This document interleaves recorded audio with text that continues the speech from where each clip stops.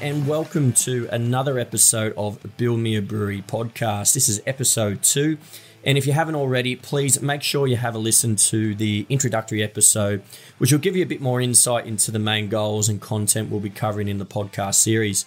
And also, please make sure you like our Facebook page, simply Build Me a Brewery, and also visit our website, www.buildmeabrewery.com.au, and subscribe to our newsletter. Today's episode, we continue with the Meet the Brewers series where I sit down with co founders and head brewers from six Sydney breweries to get their stories, insights, and advice. Today's episode, I'm out in Sydney's Inner West again, meeting with founder of Wayward Brewing, Peter Phillip. Peter is a well known figure within the brewing community, especially in Sydney's Inner West. He actually formed the Inner West Brewers Association back in 2017 in a push to make Inner West Sydney, the, the beer capital of Australia, as, as well as being chairman of the Independent Brewers Association. Pete, he's a, an avid homebrewer and, and began his pro career in brewing back in 2012, doing gypsy brewing all over Sydney and New South Wales. He and his wife Yvette, uh, they officially opened the doors of Wayward in 2015, and they've gone from strength to strength since, picking up several awards and medals across their core beer range, including a, a champion gold medal for their Raspberry Berliner Weisse, which gave them the accolade of, of being the first package producer of the style in Australia. You can tell by the interview that Pete really knows his stuff, and there were so many gems of information, and advice to take in that he provided in our chat. So, without further delay, I hope you all enjoy my chat with Pete Phillip from Wayward Brewing. I'm currently sitting with Peter Phillip from Wayward Brewing, who has kind enough allowed some time to sit down and talk about how he came to brewing stardom. And yeah, thanks for coming along. Yeah, thanks, Chris. Uh, welcome to Camperdown. Yeah, I finally got that right. Well, we spent a couple takes there. Am I in Annandale or we, Camperdown? We, are actually we're actually on the border between uh, Annandale. The back of the brewery is actually in Annandale, and the front of the brewery is in Camperdown. But so we, we're on the border. We we uh, call ourselves residents of Camperdown, so uh, we got that right eventually. Yeah, so. excellent. I guess just to kick things off, I, have given the uh, audience a, a, short introduction mm-hmm. about yourself, Wayward so I guess uh, take a couple moments now just to tell a bit about how you got into craft brewing. Um, I know you've been an avid home brewer for many years before you turned pro. So give us a, a bit of a, a, rundown. Yeah, I really came to uh, love beer uh, through living in the UK. So I lived there for five years, and you know I was the uh, typical uni student um, swilling uh, cheap lagers in Halifax, Nova Scotia when I grew up. Um, and when I went to the UK, it was like a revelation having a real ale that actually had flavor and, and tasted of hops and things like that. So that be, uh, kicked off a love affair of, of European beers and UK beers. Um, and that was, you know, that was really an adventure and you know, when I was there for five years, really, I don't think I drank a lager. I tried not to, at least. Um, might have drank one or two, and, three o'clock in the morning or something like that. But um, and then when uh, my wife and I moved to Australia in um, '97, um, I found that I couldn't find any of those beers anymore, so I had to brew them myself. So that's I started like everybody else, getting a kilo and um, thought I was a genius because I brewed a um, you know a, an English bitter, and thought, oh shit, this is easy. Um, and but you know with with brewing, you realize as you go on that the more you know, the less you know. So uh, that's really what became a, a, an obsession for the next ten years of, of home brewing. Yeah, and uh, how how soon was it? You, you said that you were starting with the kits, the extract stuff, probably in the beginning.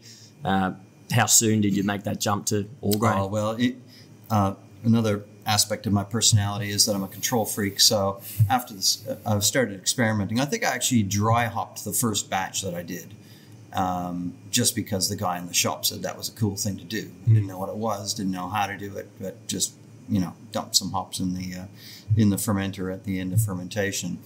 But uh, I think I did maybe one more kit and then at, uh, from that point, uh, I started doing partial grain batches and then all grain within kind of two months, I think, and um, yeah, and, and and that's where my experimentation with different styles and trying to meld different different techniques came from and polishing polishing the skills. And uh, what can you recall that first beer you brewed and what it was? Well, the first one was was yeah an English bitter. English bitter. Yeah, um, and it was uh, dry hopped with Fuggles, um, and uh, and I thought it was quite delicious, really, but um, probably pretty awful. But I think uh, all us homebrewers think uh, think it tastes amazing because it's our first that we've ever brewed. And yeah, all right, excellent. I guess career wise, uh, what, what were you doing before pro brewing? so uh, a bit of a serial entrepreneur. I, I started uh, my first company when I was 18 in Canada. Um, then started a couple companies there. Was was working for myself in the UK, but also worked for Oracle. Then came to the UK, uh, came to Australia, um, and started working um, building a, building a company here. I wasn't the founder of it, but uh, founded a technology product in the superannuation industry, and uh, went on to um, uh, own part of that company um, and build it up over the next, I guess, 20 years. Ran that uh, until um, until starting Wayward, you know, which was in 2012. Well, okay. Yeah. So you, you actually uh, had a, a, bit of a career as a gypsy brewer before opening up. Is that right? Yeah. So 2012, I decided I was going to. I've been thinking about it for a couple of years uh, and looked at a few spaces. Um, and was looking around Balmain. I was living in Rozelle, look, trying to set up something on the peninsula. But uh, you know, I'm sure we'll get into this. The challenges of finding the right location were, was incredibly difficult to find landlords and the right uh, landlords that, understood what we were trying to achieve. Um, and uh, so that had several false starts, but in 2012 launched Wayward and uh, did that as a as a as a gypsy brewer. So you know, brewed it. um, Riverside. I think it was the first batch. Uh, brewed batch at uh, Illawarra Brewing Company, and oh god, a, a few other um, breweries around. And, and how did you find adjusting to all the different systems? Do you think it played a, a part in you becoming a better brewer, understanding different systems, being able to adjust? Well, look, uh, I mean, ultimately, uh, when you're gypsy brewing, you know, it's not like a, a brewer hands you the keys and walks away. Uh, you know, you're relying on the brewer that's the, the head brewer of whoever's whoever system you're using mm-hmm. to um, adjust and develop a recipe. You know, you're scaling up a homebrew recipe or uh, you've got a concept that you're starting with, um, it's always important to consult with with the people that that actually run that brewery every day because everything's every every system behaves differently. So yeah, look, I think that that was what that did um, teach me was a little bit of um, what you know. I saw several systems, so I knew what I wanted and what I didn't want when we um, when we designed our, our brewery. And for the listeners who maybe aren't that clued up on what gypsy brewing is, I, uh, they've probably also heard of contract brewing as well. Yeah. There's there's a slight difference between the two. Oh, look, there, right? there's there's uh, perhaps a philosophical difference. Um, you know, we get people coming to us saying, "Can you contract to brew a beer?" And we say, "Great, what's your recipe?" And they go, "Oh, I don't have a recipe. Um, I just want to create a beer. Me and my mates want to, you know, create a, a brand." Um, so there's that's probably one end of the spectrum. Mm-hmm. Uh, the other end of the spectrum is um, we've had many many um, uh, gypsy brewers through Wayward, people like you know Shenanigans and um, uh, you know Sunday Road started out brewing here. Um, you know even Capital did a couple brews here. So we've tried to um, you know involve gypsy brewers in our in our history. And um, um, lost track there. What was the question? Uh, yeah, I guess the number of oh, gypsy difference, difference between gypsies, gypsy brewing and contract brewing. I mean, yeah. So gypsy brewing is really where somebody is a, a more or less qualified brewer, and they're coming in and they're and they're more um, more engaged, I guess, or more involved in the brewing. They just need a system to brew on, really. Yeah, yeah, and like I said, it it's. I think some people believe that you know you kind of hand over the keys and away they go. It, it's it's really a consultative process. I mean, in, in our in our case, it's always our brewers who are qualified and understand our systems that are doing the brewing, but the um, the uh, gypsy brewers are. It's their recipe it's you know we're taking their advice on exactly how they want it brewed and we're just following their instructions so you your roots coming from that gypsy side as well um, going from you know brewery to brewery around sydney and even down to illawarra. For someone who i guess and, and this is probably a common problem um, facing a lot of aspiring brewery owners is not having enough capital behind them and not being able to source capital from your, your big banks or you know not having an actually proven concept. Do you think uh, uh, gypsy brewing and contract brewing is a uh, practical way to start out it's a, it's a viable way to start out but you have to start out uh, you have to understand um, what it is and what it isn't it's not a way to make money first and foremost right? So you will never make money as a gypsy, gypsy brewer. Um, uh, if you go into it understanding that this is uh, a, an experiment, um, you don't want to risk all your capital. You don't know if it's going to work or not. You don't know if you have a recipe or a brand or all those things. If you think about it as a low, a relatively low risk way to um, lose money, lose a little bit of money, figuring out whether you're on the right track, then it's then it's a reasonable way forward. Um, if you believe that you're going to grow uh, grow a brand to um, to a, a serious um, uh, the, sorry, I should say then you're in the realms of contract brewing. If you really, really want to launch a brand, and and and there are people who have done that, launched brands purely on contract, right? it, but it's a different model. You need capital behind you to do serious uh, co- contract brewing because essentially you're going out and contracting somebody to, to make you know hundreds of thousands of kegs and hundreds of thousands of, of cases, and you need the capital to do that. So it's not necessarily a way. So I'm talking about gypsy brewing, which is generally smaller scale, generally batch to batch. Um, you know, um, generally small packaging runs and uh, and and it is a way to kind of um, kickstart what you're doing. So, and, and that's the way I've always treated um, or, or, viewed gypsy brewing and contract brewing is a lot of them aren't making money. If they're lucky, they break even, but it is a way to get your brand out there, get us get some exposure. I guess dip your feet in the water before actually investing in stainless. Yeah, that, yeah. I mean, uh, it's like I used to joke with friends that you know they'd be drinking a pint and I go, yeah, we're doing. How are you doing, Pete? Oh, we're doing great. That pint, I only lost fifty cents on that pint you're drinking, and they just shake their head and go, wait a minute, what do you mean you lost fifty cents, losing fifty cents on every pint? How can that possibly be? Well, it's just it's expensive, mm. right? You're paying you're paying for somebody else's stainless, you're paying for somebody else's rent, you're paying for somebody else's uh, wages, yep. right? So it's not that you're you know you're paying a lot more. You're just not investing in your own stainless. You're helping to pay off somebody else's stainless. Yeah. Okay. Excellent. So, Pete, when you decided to launch Wayward and you had an actual physical premises, uh, what sort of concept did you want to start off with? Was it a, a, brew pub concept, or is the main goal to become production so you can sell your beers national or into international markets? You want yeah, to talk we, about that? we were a production brewery from day one. The, the uh, tap room is an ancillary to the production business. So I think that's the first decision that everybody has to make is are you going to be a production brewery or are you going to be a brew pub?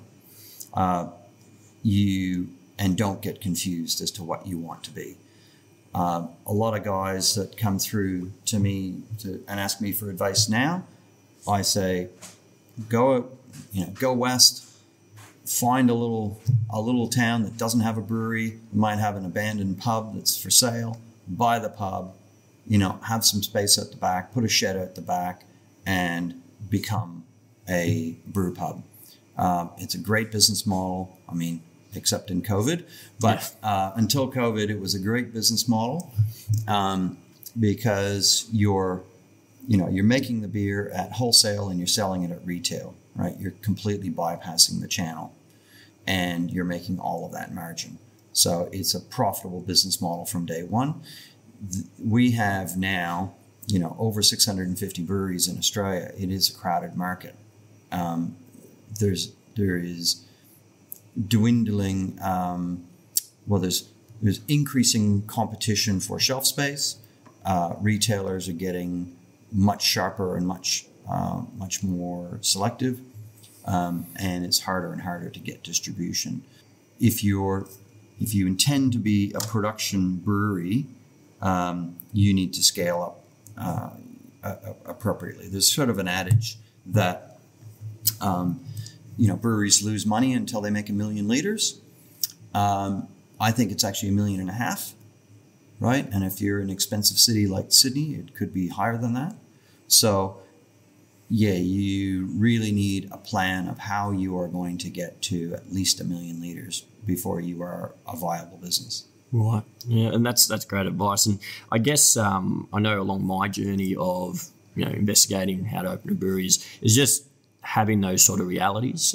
You know, as I was saying to Pat when I sat down with him from Willie the Boatman, it's it's not all about making beer and drinking at the bar with your mates. There's a, there's, it's an actual small business. And uh, well, I, I, st- I, started a brewery because I love brewing, mm. and I think the last time I was on the tools was when our head brewer Sean went on his uh, honeymoon, and um, you know, um, I did everything for six weeks. I probably brewed a few times after that, but that was probably 2017, right? I haven't been on the tools for three years, and I started a brewery because I love brewing, right? The the reality is that the first thing you need to do is decide whether you want to be a brewer or whether you want to run a business. If you want to have a successful business, then you cannot do both. It's impossible. Mm-hmm. Um, running a business like this is a uh, in the beginning it'll be an 80 hour a week job. So if you've got kids um, you're not going to see your kids and your wife right? And uh, or you can be a brewer right? And hire somebody to run the brewery. But you can't do both. Yeah good advice.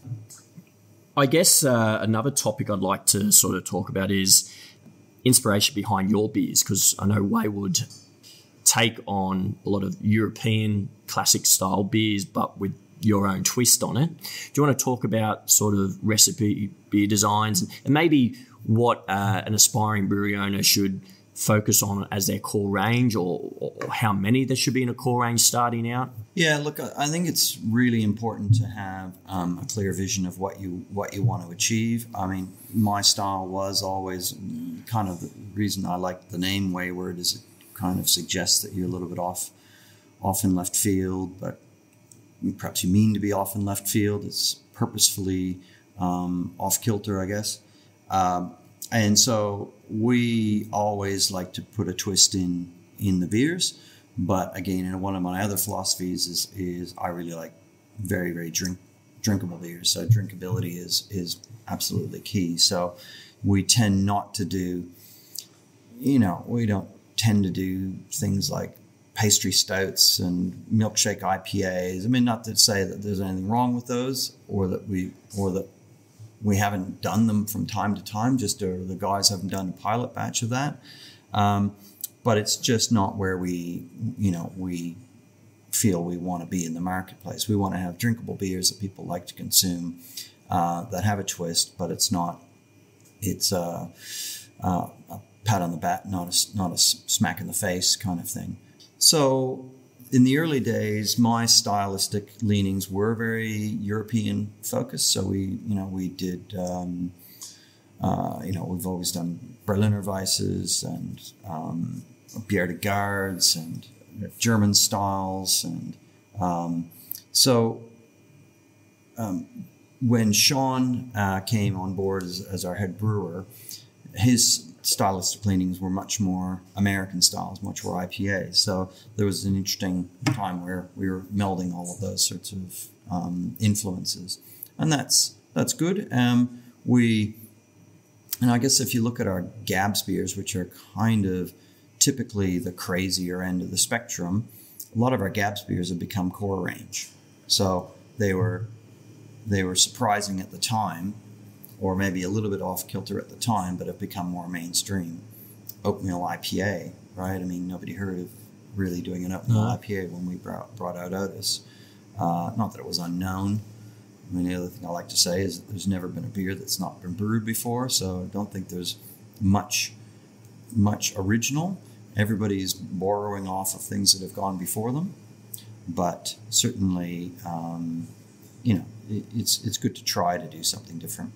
And and what what's a healthy number starting out? Because I, I see a lot of small breweries that are probably in their first couple of years, but they've got twenty different beers, um, and you know they're probably held back by the capacity of their tanks, and you know they've probably started out small. Um, what's a healthy number? To sort of kick things off, should someone start off with just one beer, focus on that, get it out the market, and then build from there, or, or, or there needs to be variety from the very beginning. Look, w- one beer is the way to start because I believe um, if you really are going to have a core range, right? I mean, there's a lot of breweries who just really don't have much of a core range, uh, and they've made their name strictly on. Uh, well, you know, they've developed core range over time, but they started out life um, as batch brewers. I mean, that's really what batch was when it started out. They, you know, Chris and Andrew said, "Oh, we're never going to brew the same beer twice." Now, people demand that your popular beers get brought back, so that's how um, you know core range is developed, and you know they certainly have a core range. Um, but don't underestimate the complexity of managing multiple SKU stock keeping units in the channel, right? And keeping up with that. If you don't, if you're not efficient, it's going to be, um, you know, a millstone around your neck.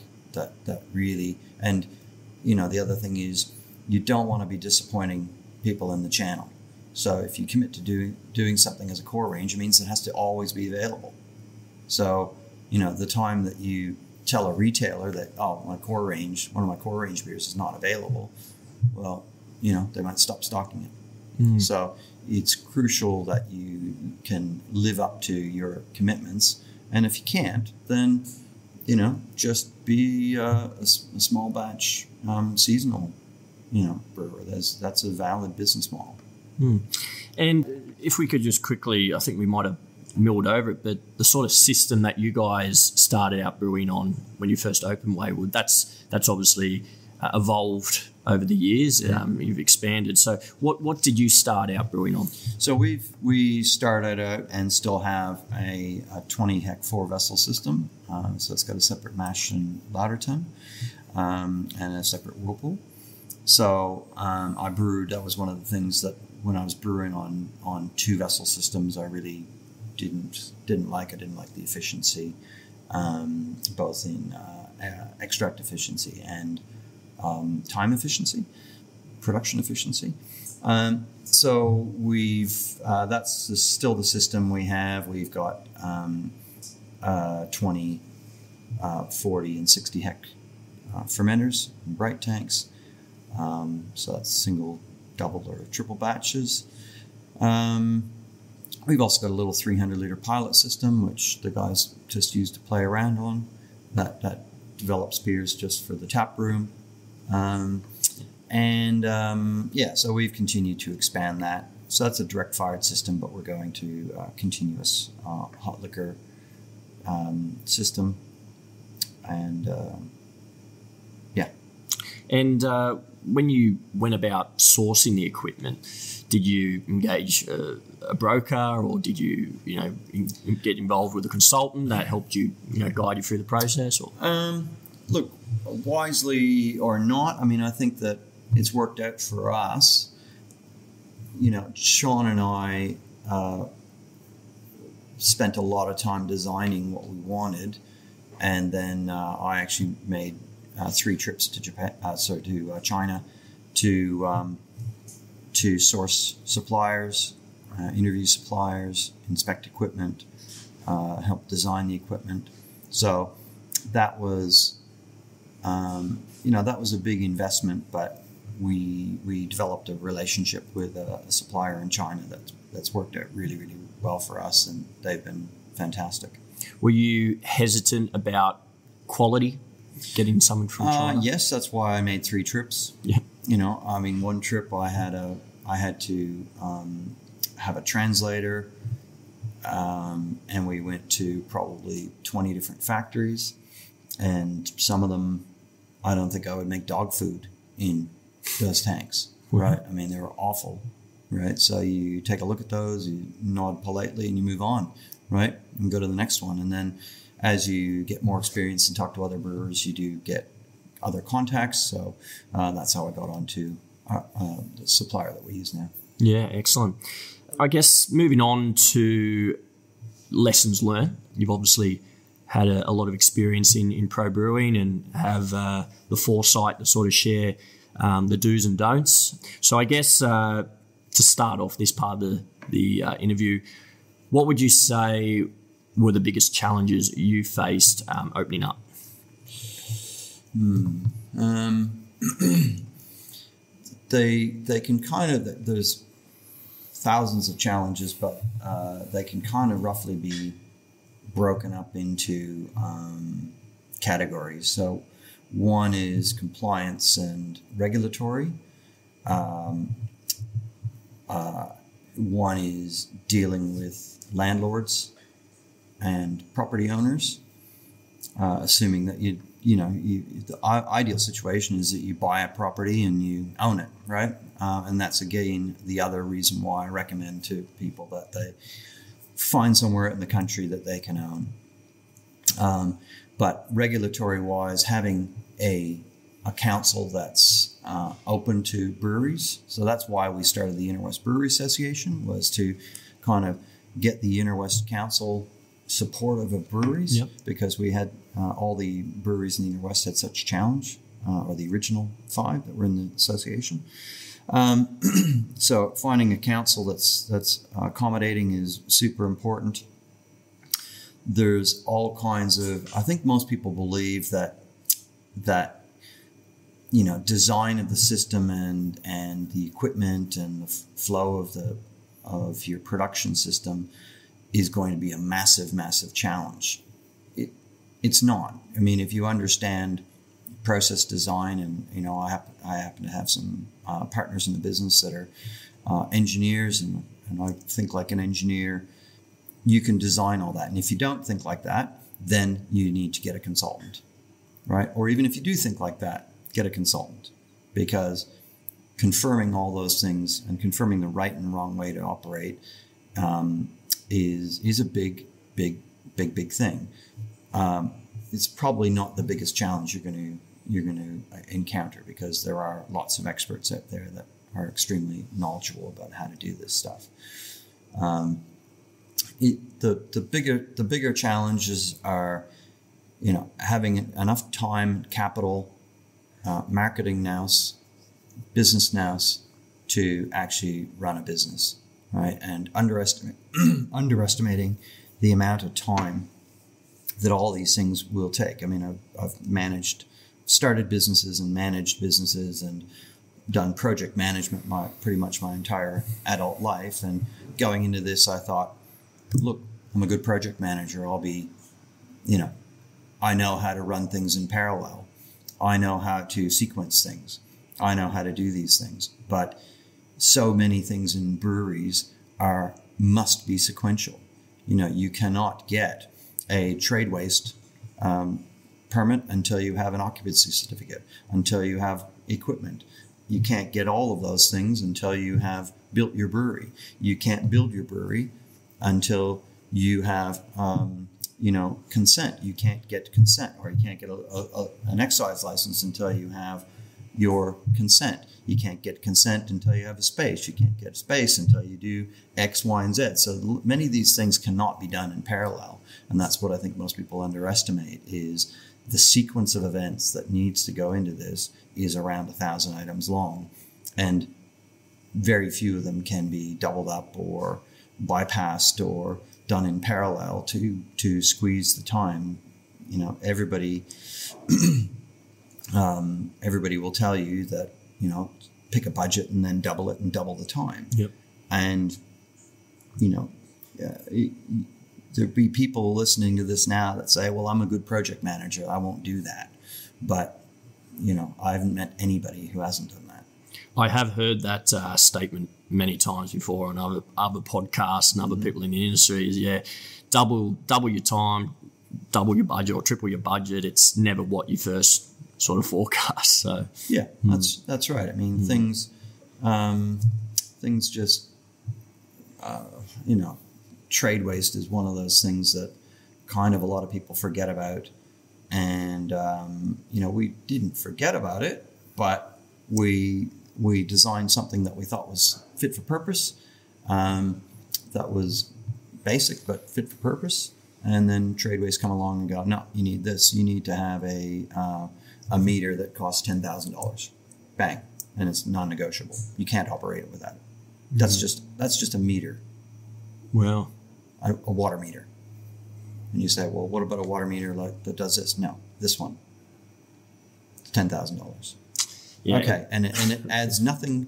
It adds nothing to your, you know, the quality of your beers or anything. It's just counting the water that goes through the system right? And there will be there are a thousand things like that that you know. Unfortunately, in Australia, we live in a highly regulated uh, environment.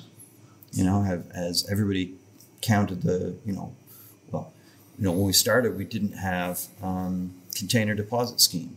Container deposit scheme comes in, adds 13 cents to every every can or bottle that you create, and you know, as much as people say, oh well, that got added to the price it gets added and then it gets deducted because you know it's a competitive competitive environment. Mm, well, craft craft beer is is already um, viewed as very expensive to the market. That's right. So you don't need more things to be added on top to, to give that perception. So. Yeah.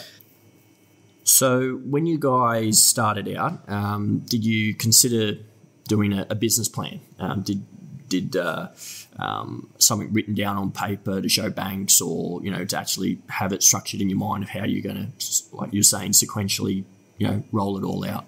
You need, you really need three things. So, absolutely, you have to have a business plan. If you don't have a business plan, you're screwed.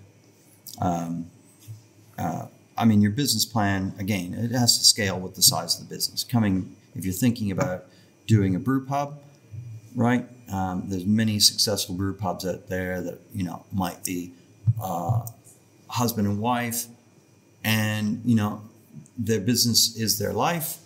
Um, you know, one of them works at the back brewing, one of them works at the front um, front of house, and you've got a couple of casual staff. And you know what? You don't need a long business plan for that. Um, you do need a brand strategy. Everybody must have a marketing and brand strategy. So, what does your brand mean? Why are people buying your brand? Because when people buy a beer, um, they don't do it with blindfolds on. You know, they don't do it based on just solely on the taste. They do it based on uh, what you represent, and that's that has to be embodied in your brand. Mm-hmm. Um, and then the third thing you need to have is a, a project plan and I would say the fourth thing you need, which is part of the business plan, is a capital plan. How you how you're going to raise money to do this because it's going to take a lot of money.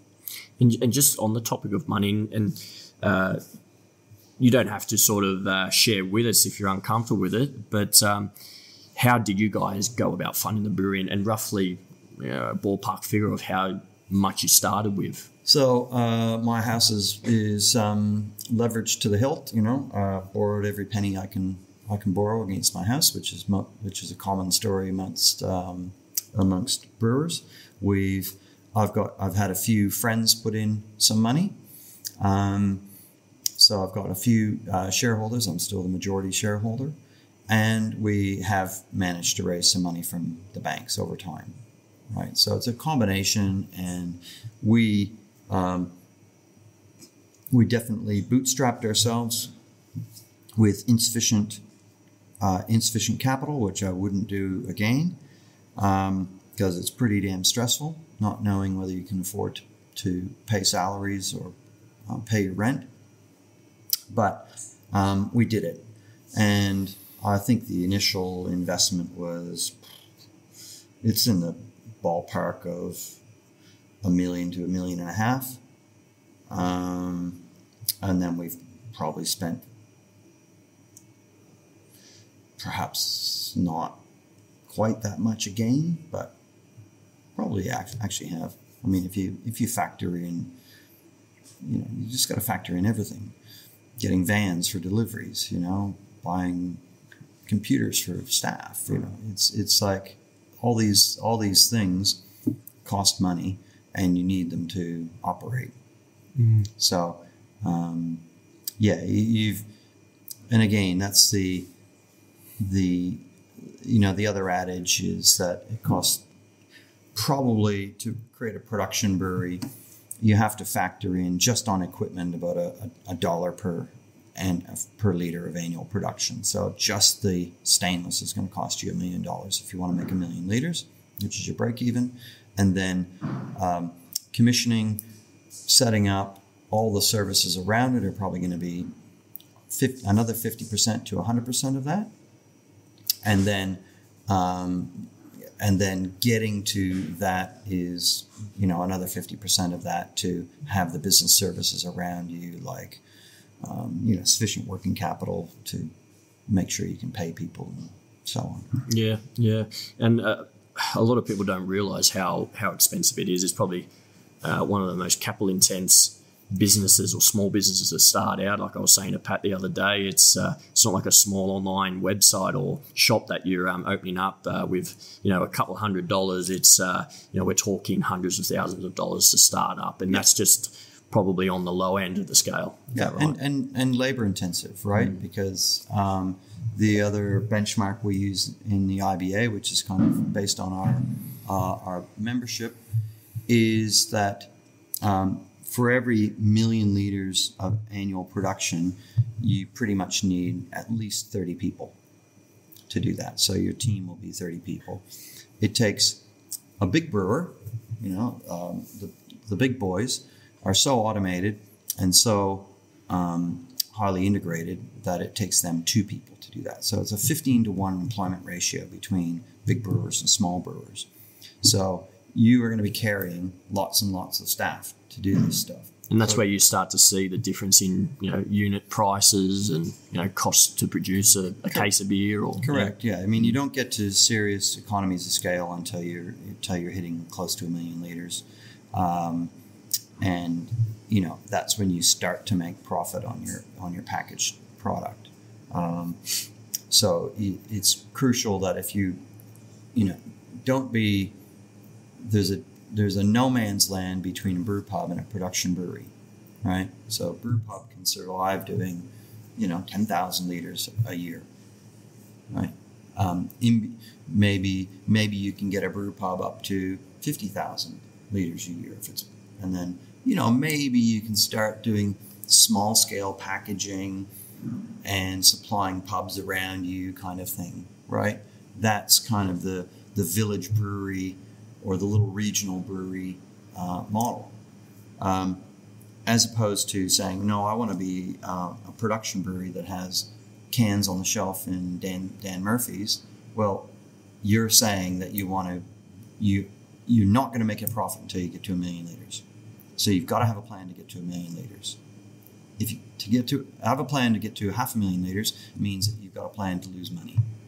So I think that's what most people don't understand is that you just are going to continually be chasing your tail until you get to a profitable situation and understand all of your costs and you know use these benchmarks uh, to plan accordingly. You know do you want to manage 30 people in, a, in your business right? Well you can't do that and be the head brewer. You can manage your little brew team but you can't manage 30 people mm. in a business if you're the head brewer. You've got to realize when to step back and look at running the business. Or, That's right. I mean, you, well, I mean, I'm not saying don't be the don't be the head brewer. If you mm. love brewing and you've got a vision, be the head brewer. But it means that at 3 p.m. or 3:30, you clock off, you go home, and you put your feet up, right? And you let the general manager or the CEO that you've hired or your business partner, whoever that is, they're running the business, and you're, you know, in effect, reporting to them, right? That's the only way that works uh, that I've seen. Anyways, I've never seen somebody successfully um, spend all day brewing and then and then somehow be able to manage uh, a growing business. And uh, if you were to do it all over again, um, with what you've learnt now and experience under your under under what you've been doing here, look, what would I- you do differently? I'm not sure I'd do much differently. I probably would have raised more money at the beginning, and um, you know, it's uh, it's kind of it's easy to be caught up in the in the buzz of doing what you're doing. You know, there's that there's that mid tier where you're almost making money. You're making you know two or three hundred thousand liters of beer a year, and you're packaging, and you're starting to get some success, some success in the channel, and you get some sales guys where you just go, oh my god, this is awesome, this is so fun, right? This is really good, and and you can take your foot off the accelerator, right? So we. Um, we went through a little phase where perhaps we we should have just been much more focused on on doing a few things and doing them extremely well rather than trying to because we were all getting excited about oh let's do this and let's do that and let's do this. And it wasn't until we really really honed down our product strategy and uh, and and you know uh, that we saw really the massive growth happen. Um, so yeah, that's possibly I would just would have would have had more money in the back pocket, maybe raised a bit more capital, um, so that uh, so that we could have grown faster. So probably starting out a bit bigger. Um, I think I think our size is okay. Um, you know, we've grown, managed to grow into adjacent uh, units to to continue to um, have space because you know just the amount of space that a brewery uses is is staggering.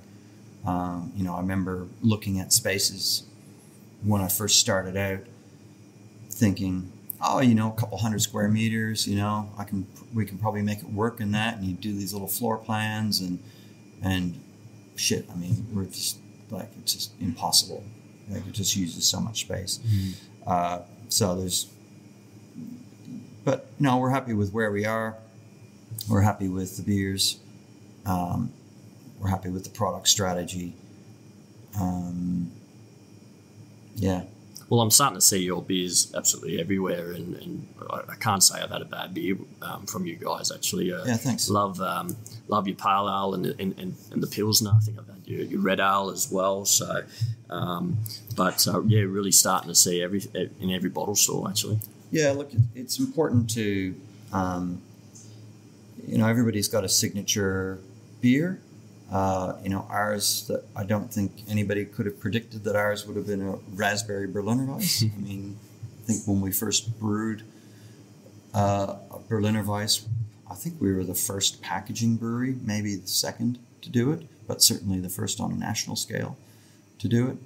And, um, you know, I just don't think 15 years ago anybody would have said, most people didn't even know what a Berliner Weiss was, that it could be, um, you know, nationally stocked beer that's that's as popular as it is. So I think that's important to have a signature signature beer and a signature brand that can um, that can um, pull through a lot of uh, enable the rest of the growth to happen. Yeah, excellent.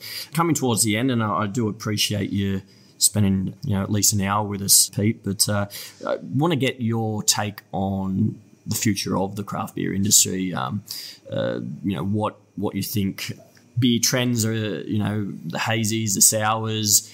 What room is left in the market for growth here in Australia for craft beer? If you want to maybe share some Yeah. insights there.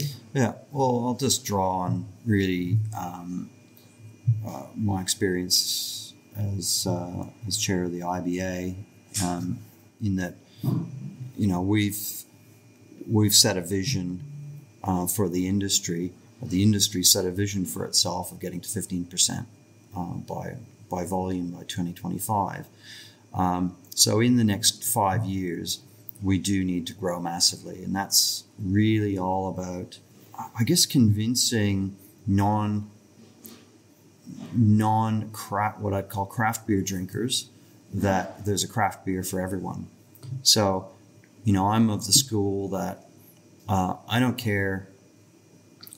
You know, I don't care that your beer is not super bitter or super hoppy or super. You know, it doesn't need to be sours. Doesn't need to be I big IPAs.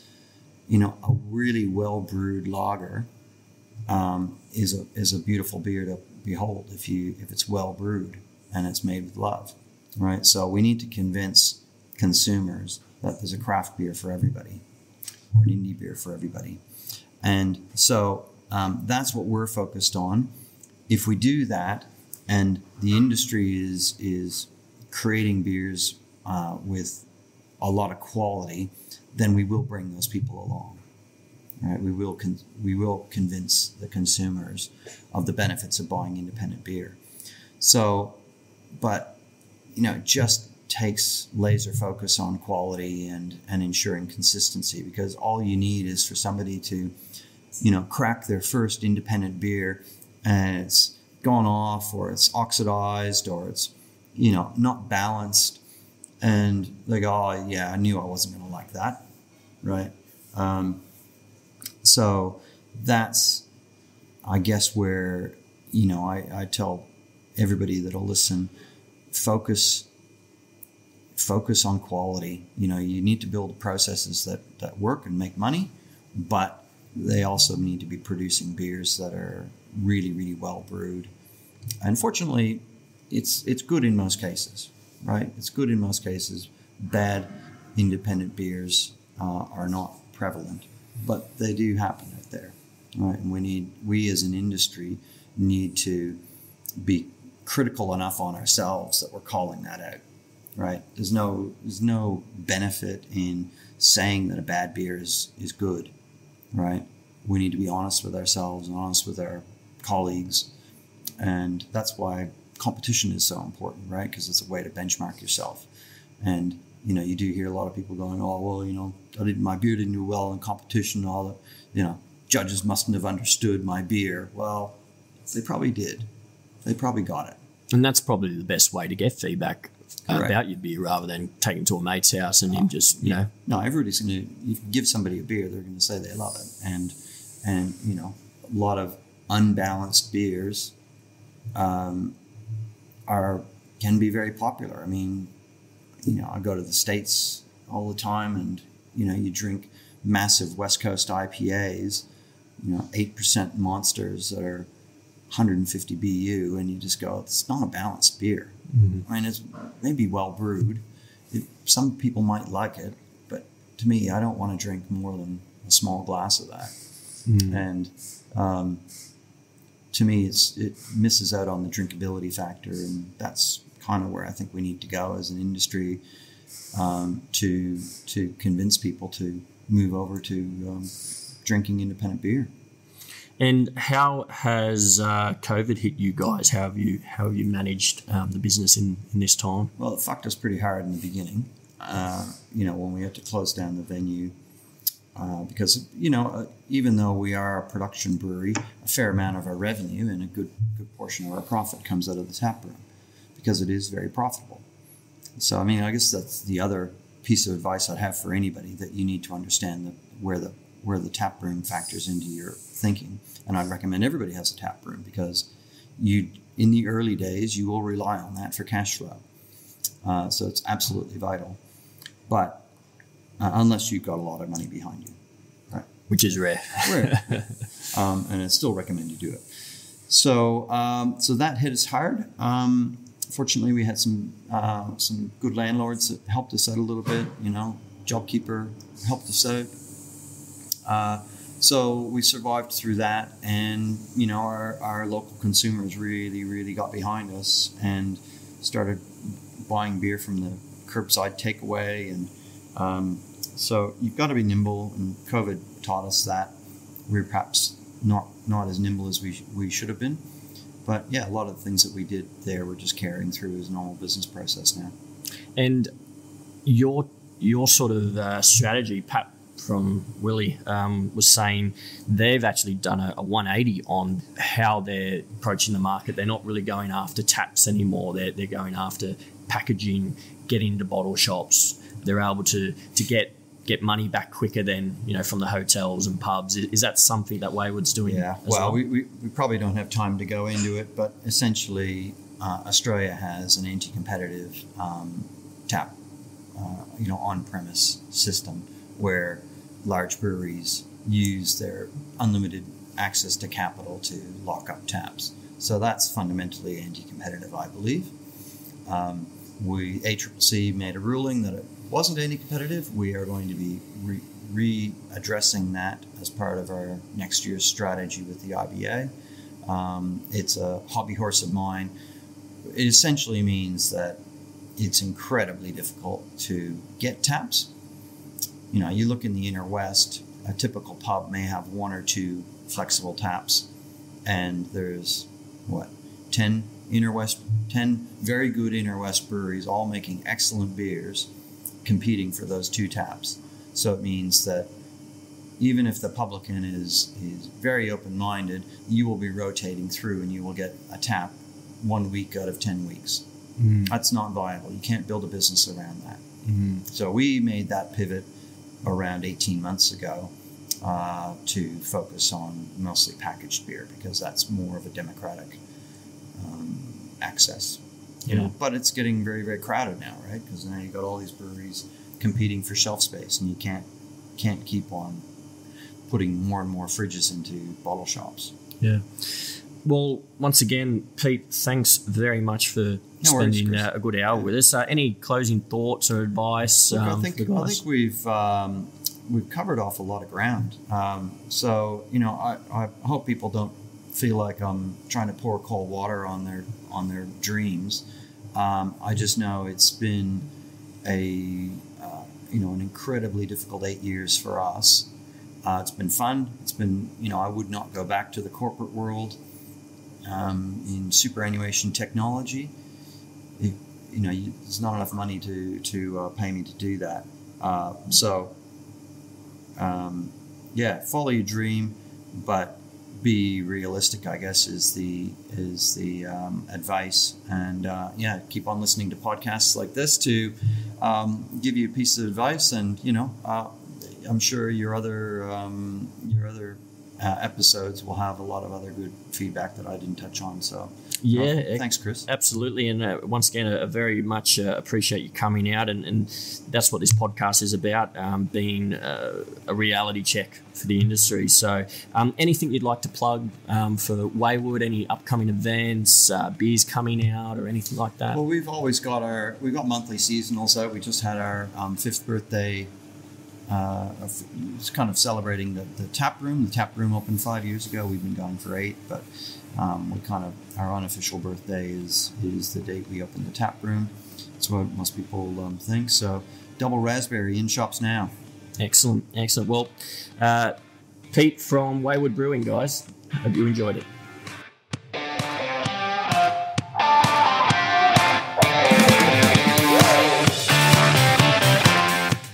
Thanks for listening to the Build Me a Brewery podcast, and I do hope you enjoyed today's episode. Please remember to like, follow, or subscribe across all our social media handles. And if you visit our website, www.buildmeabrewery.com.au, and subscribe to our mailing list, you can get exclusive content such as free ebooks and transcripts on all our podcast episodes. So keep on listening and stay tuned for more episodes of the Build Me a Brewery podcast.